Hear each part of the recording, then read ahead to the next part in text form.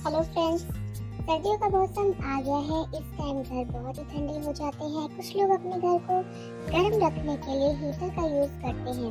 ये आपका electricity bill तो बढ़ाएगा ही, साथ ही साथ आपकी हेल्थ को भी नुकसान पहुंचाएगा। इसलिए मैं आज आपके लिए बहुत ही सस्ता और आसान सॉल्यूशन लेकर आई हूँ। बबल शीट ये मार्केट में बहुत ही आसानी से मिल जाती है और इसको लगाना तो बहुत ही आसान है। जिस भी ग्लास विंडो या ग्लास डोर में इसको लगाना है, उसको अच्छे से पहले क्लीन कर लें और उसके नाक पर बबल शीट काट लें। एक ग्लास पर स्प्रे बॉटल से पानी स्प्रे कर लेंगे और फिर बबल शीट अच्छे से उस पर चिपका देंगे। मेरी बबल शीट थोड़ी पतली है तो मैंने विंडो के दोनों साइड इसको चिपका दिया है।